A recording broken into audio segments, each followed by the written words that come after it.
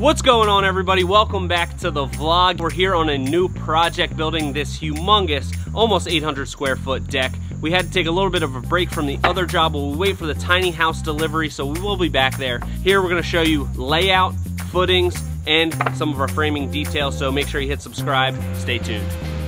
All right, so we're here first day on site, and the first thing that we have to do is mark out our footing location. But first, let's get into the design. This project is gonna be insane. We have almost 800 square feet of deck space, a 20 by 20 roof structure and pergola off to the side. Underneath that roof, we have a lounge area with TV above a fireplace. To the left, we have an outdoor kitchen, which is highlighted by those two hanging chairs. And we are able to squeeze some extra functionality out of the space by doing a bar top in front of that bump out. When it comes to our footing locations, we have 16 helical piles. All we do is reference these plans, take measurements, spray them out, so let's get into that. Then we'll get our string line, Got a brand new one, brand new.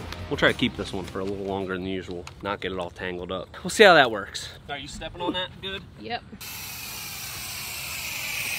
Okay.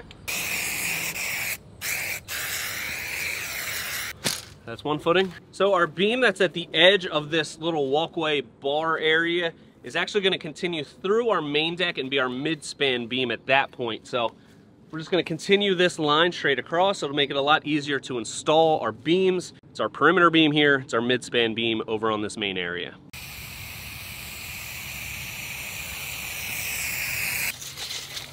Okay, we gotta cut a little bit of these stairs away. I think we can do it so the stairs will still be functional because we won't be framing for another couple of days. We got the play set over there. We wanna keep these intact if we can, so uh, we'll try to be careful.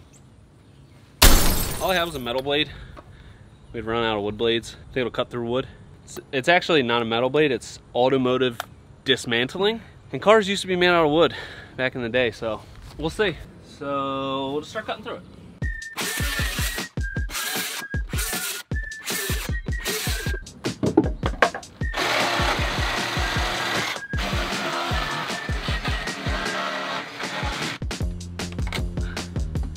Oh, that's nice.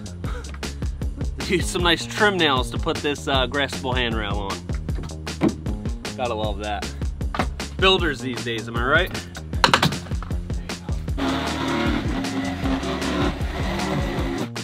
Actually worked pretty good.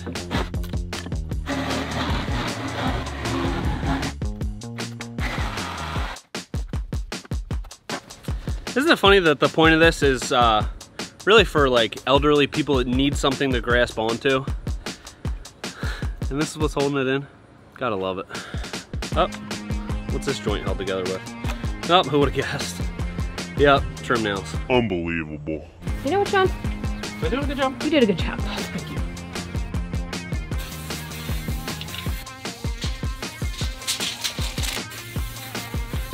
There she is. Last footing. Last footing marked out, ready to go.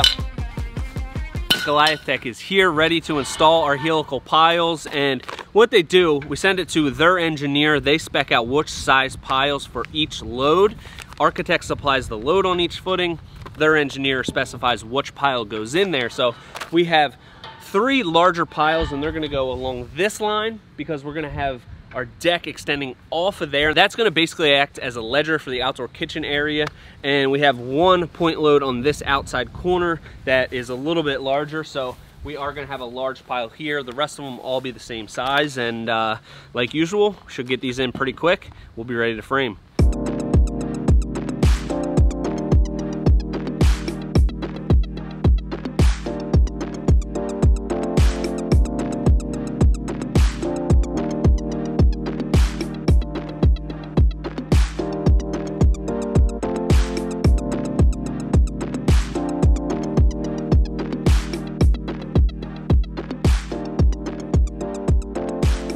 All right, we got all of our footings in. You saw that installation. Now we're ready to frame. We don't have to wait for anything. No inspection. There is an engineering report that gets submitted to the township, but we'll have that in a little bit. We're ready to start framing. Let's show you what we got.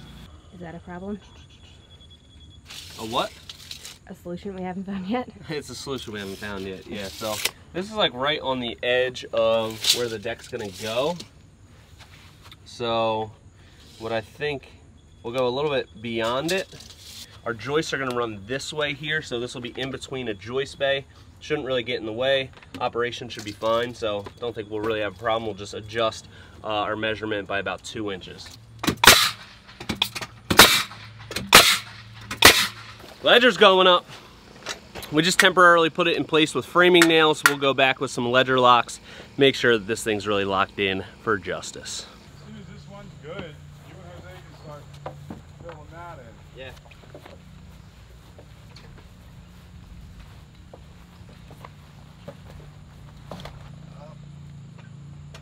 Up a little bit.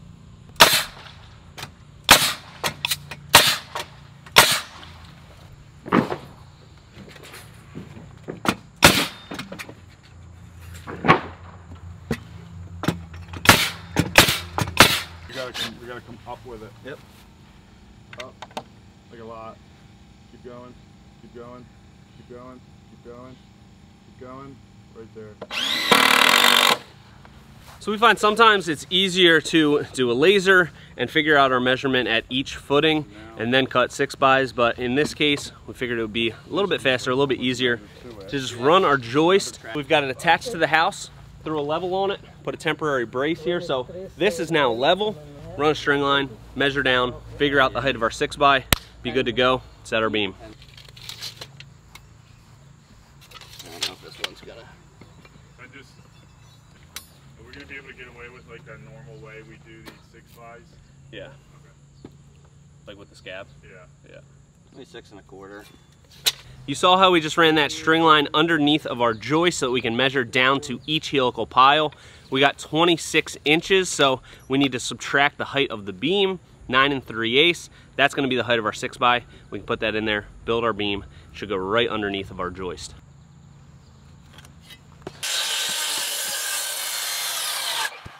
Tom, why don't you get over here with your strong muscles? Yeah, maybe.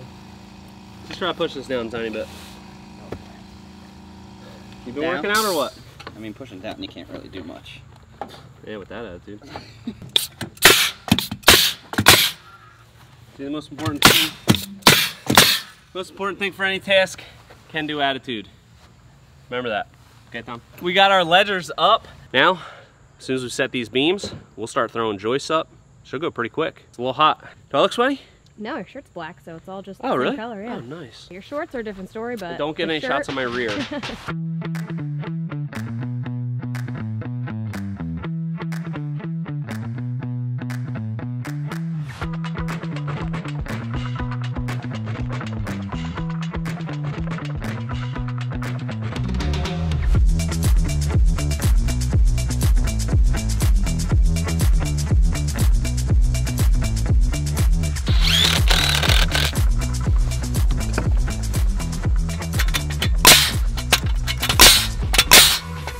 Pre-cut all of our joists for this small walkway section, needed 16 of them.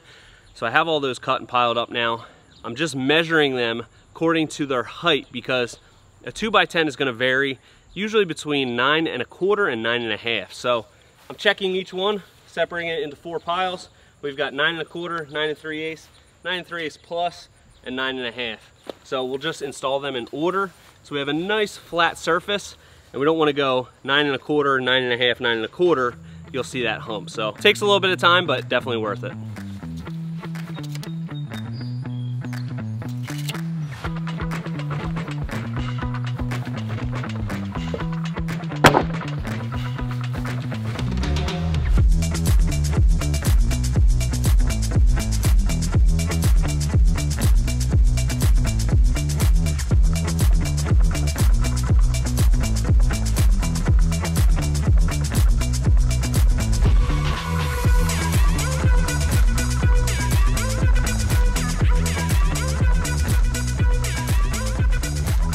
Got most of this deck framed up. The two main sections.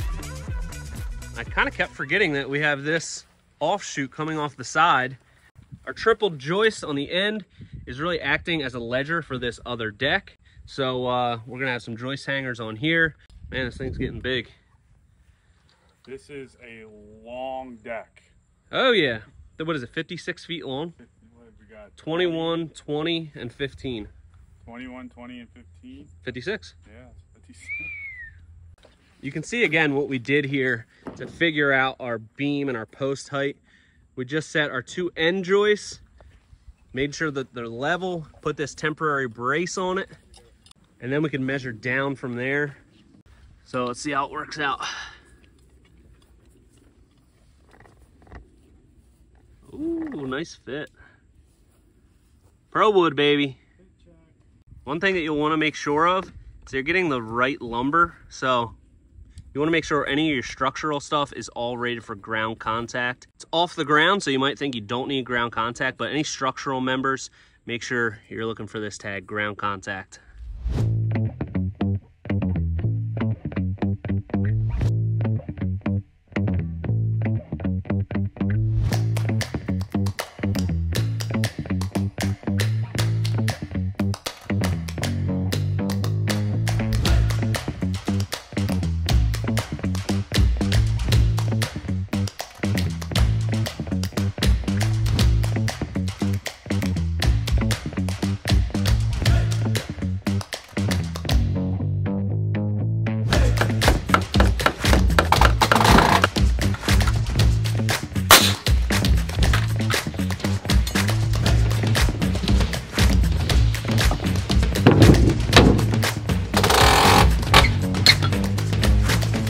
Just like that, we got this additional section all framed up and ready to go. And now we have pretty much the bones of this structure in installed.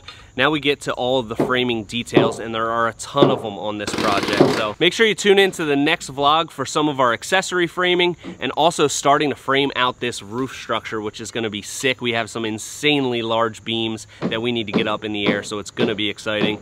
Make sure you hit subscribe. Stay tuned, and until next time, this is Premier Outdoor Living.